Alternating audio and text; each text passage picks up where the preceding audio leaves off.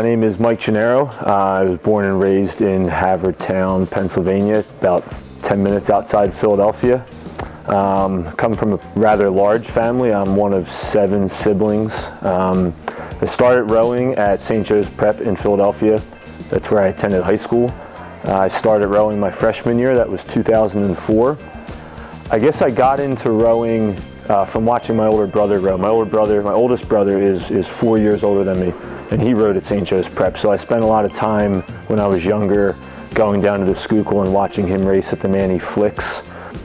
And rowed there for four years, got a scholarship to row at Syracuse in Syracuse, New York, and spent, uh, I guess I'm one of the guys here that rose up through the system. I was on the junior national team in 2007, rowed on three under 23 teams in 2009, 2010, 2011, uh, and then kind of transitioned to the senior team. Uh, it, it's, I love it. It's exactly what I want to do. It's the best job I ever had. Uh, I have a lot of friends that work other jobs and they remind me often and always that they would trade places with me in a heartbeat. So there's nothing I'd rather be doing than this. So the last the last two years have been successful, but they've been kind of a whirlwind. Um, we didn't have too many guys returning from the previous four-year cycle, so we had to get a lot of guys up to speed. A lot of us had rowed together on past under 23 teams, so it wasn't like getting guys up to speed with meet and greet, it was just getting guys up to speed and up to the level of competition pretty quickly.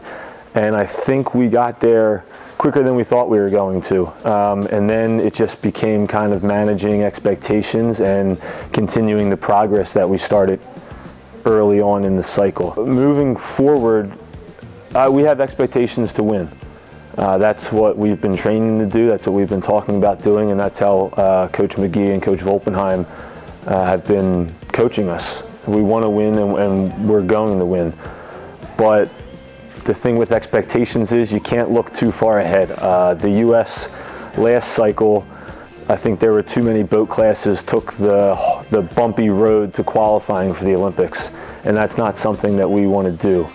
So we're just keeping our expectations short term, you know, just looking towards getting, getting better out here in California at these training camps, getting fast through the NSRs, through the World Cup and being as successful as possible this year at the World Championships. What's Mike Gennaro like? Well, how much time do you have? Um, yeah, I, um, I don't know. I, I, like to I like to keep things light around here. Uh, I, I take pride in my my outgoingness and my ability to kind of be a class clown.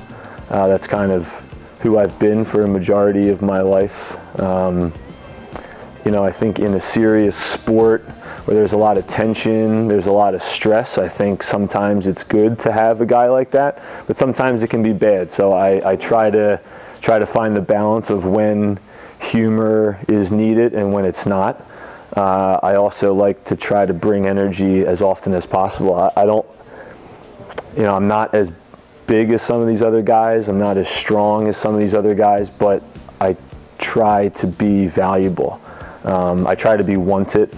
Um, you know, and I, I, just I try to make my personality into like a seat race, and, and I, I hope that people miss me when I'm gone, so that when I'm there, I'm bringing something to the table, and if I'm not there for some reason, it's immediately noticeable.